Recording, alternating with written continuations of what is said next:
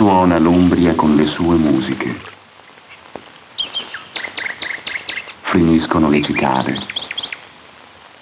Cantano gli zampilli.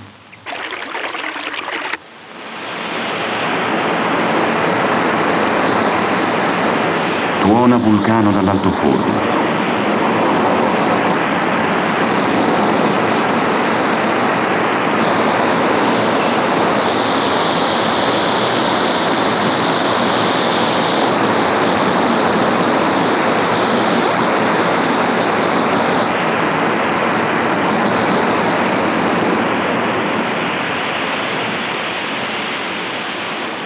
Sulle aie stornellano le ragazze. Noi signor cambiamo maggio di una rosa primavera sotto il sole che pare un razzo se ne va con la sua sfera sotto l'ombra di un bel faggio fuori aprire dentro maggio.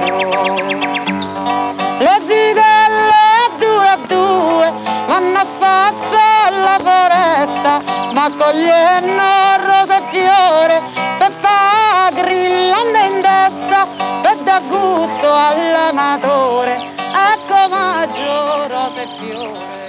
grande cornice dei suoni e dei colori, l'Umbria vive.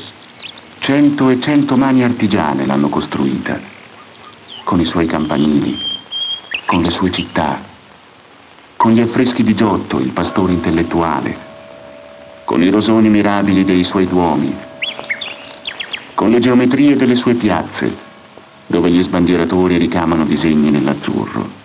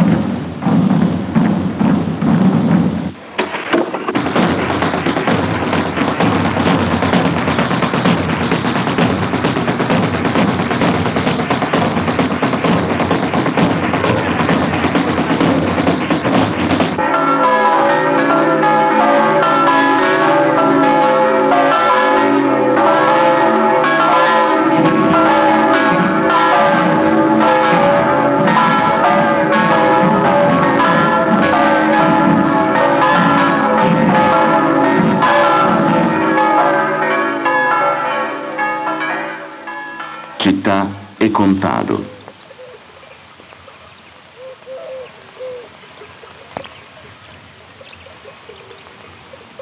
Le antiche rocche, i paesi sulle pendici dei monti, le torri dei combattivi comuni, le pietre dure delle case, sono le pagine mirabili di una lunga storia di civiltà urbana.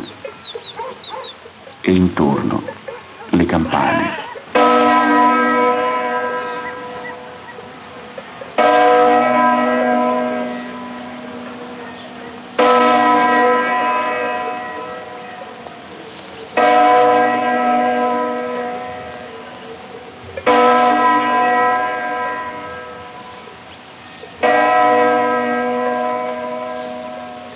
Come un fondale marino, i campi lavorati raccontano il cuore antico dell'Umbria. È il cuore di una civiltà contadina che ha fuso aria, luce e terra per comporre il canto mirabile del Santo Francesco di Assisi.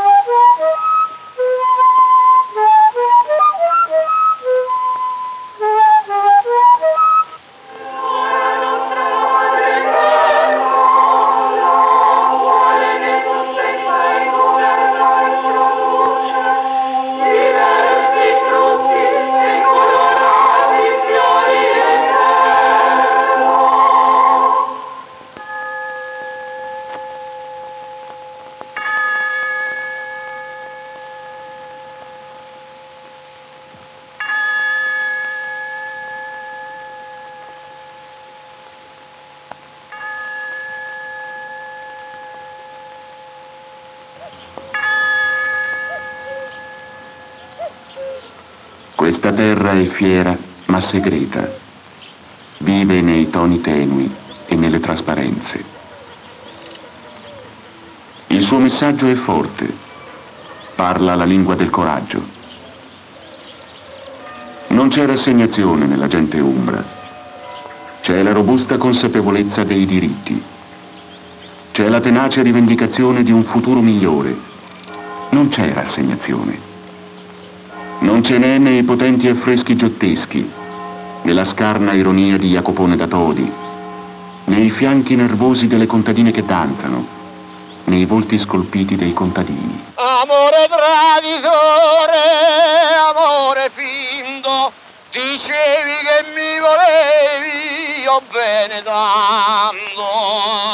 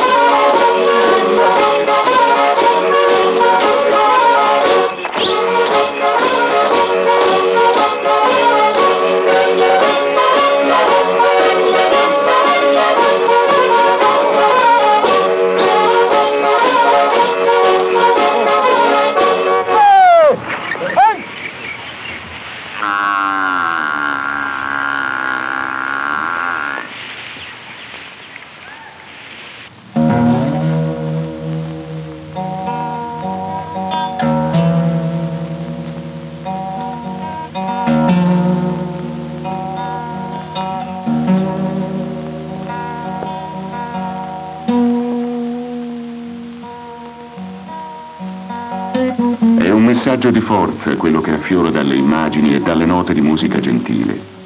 Il popolo umbro lo ha raccolto e ne ha fatto una storia di lotte e di ribellioni. L'Umbria si liberò da un anacronistico potere temporale della Chiesa che stravolgeva l'insegnamento francescano.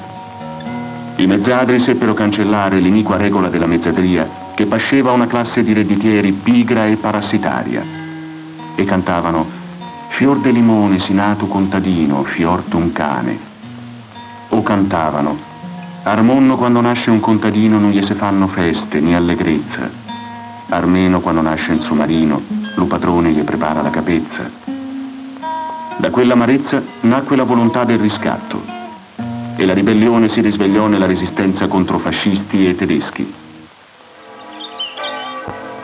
I contadini divennero esercito di popolo sui monti di Norcia, nella Valnerina, ai fianchi della Val Tiberina, nel Leogubino, ai confini della Toscana. Astuti e duri, cacciarono invasori e traditori.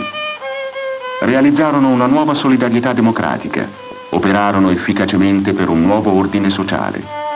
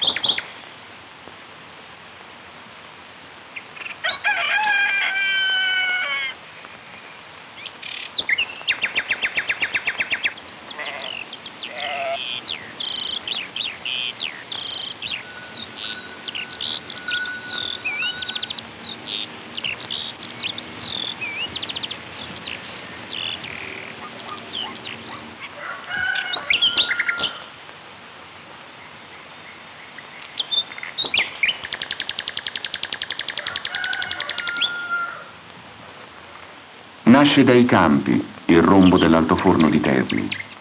Dalla terra all'argilla, al fuoco, all'acciaio.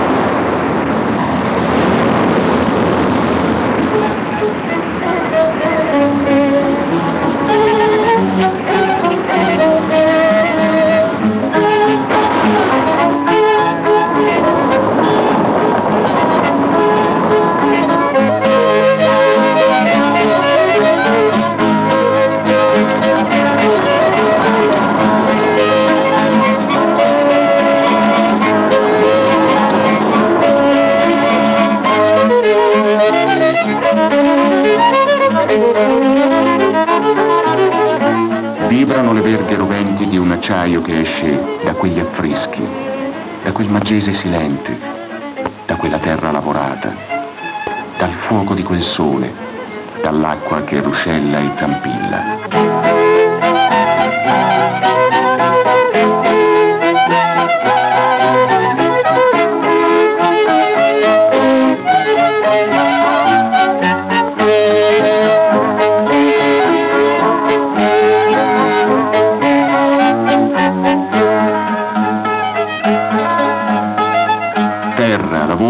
Industrie si fondono nell'acciaieria.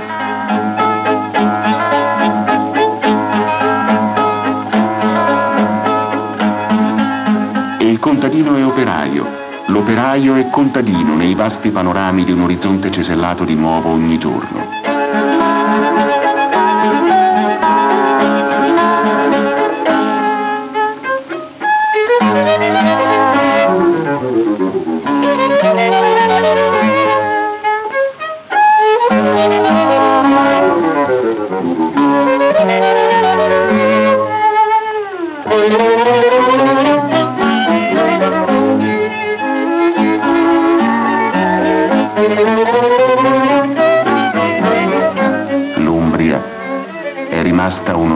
Spazio per la felicità.